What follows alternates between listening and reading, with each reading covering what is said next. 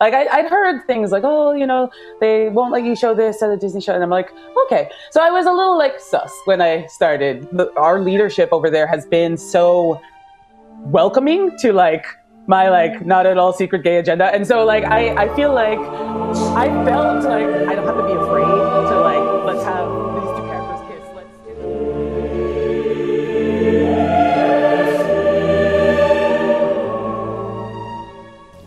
doesn't look too good, Patrick. We were doomed from the start.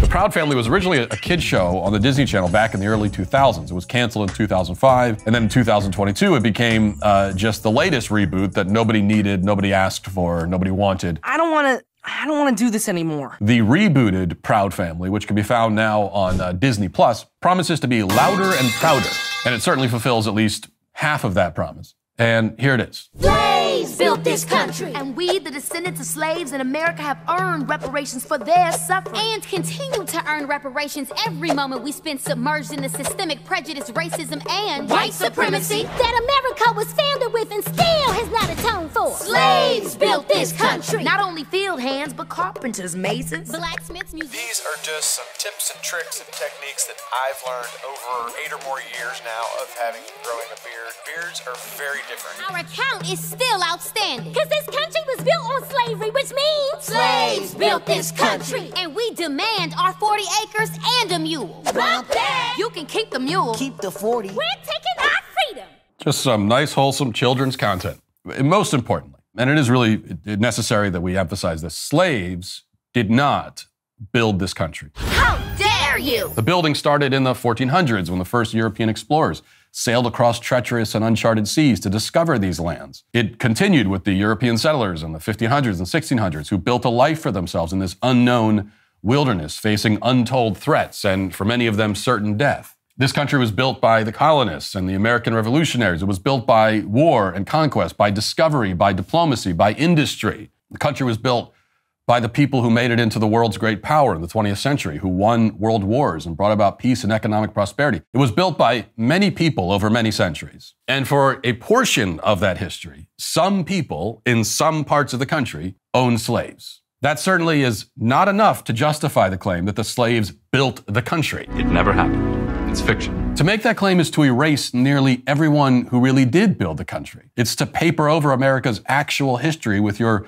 grievance mongering nonsense. As many of you know, I'm a true grill master. I love grilling up just about anything. Thanks to my friends at Cynch, my grill is never empty with propane. Cynch is a propane grill tank home delivery service. They deliver propane tanks right to your door. Cynch delivers on your schedule, does not require any long-term commitment or subscription. Plus, delivery is completely contactless. You don't have to wait around at home. Track the order on the Cynch app from anywhere, whether you're uh, grilling for your friends, camping with your family, or lighting up your fire pit on a cold summer night. Cynch's propane delivery service ensures that you have the fuel you need to make the most of every moment. Go online to cynch.com or download their app to order. New customers can get their first tank exchange for just $10 with promo code Walsh. That's C Y N C H.com. Promo code Walsh is a limited time offer and you must live within a Cynch service area to redeem it. Visit cynch.com slash offer for details. Now, if the mere historical fact of slavery automatically means that the country was built by slavery, and forever is indebted to slaves and their descendants, then of course the same must be said about every nation on the planet. There is no race, no people,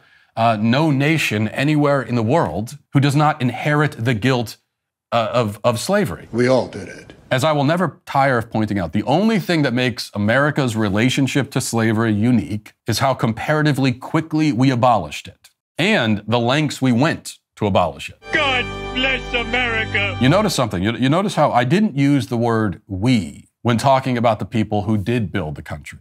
I didn't come here on the Mayflower. I wasn't on the Lewis and Clark expedition. I didn't fight in the Civil War. I didn't storm the beaches of Normandy. People who looked kind of like me did, but I didn't. So I don't take credit for their achievements or claim their accolades, just as I don't pretend to have experienced their suffering or felt their pain. I stand at the end of this long line of triumph and sacrifice. I am its beneficiary, and so are you, whatever your race.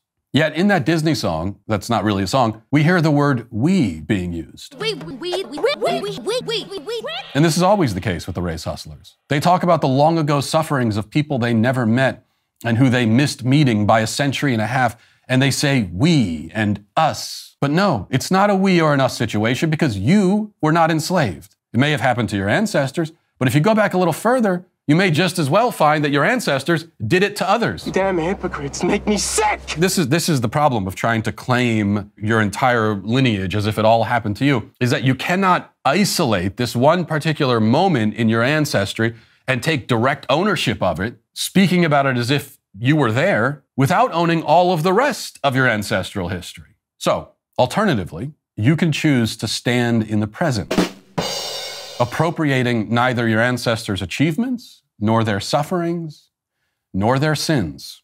It's your choice, really. You've got two paths, and one gives you a chance at living a happy and successful life. The other keeps you wallowing pathetically in self pity, obsessing over resentments that don't belong to you. It's up to you.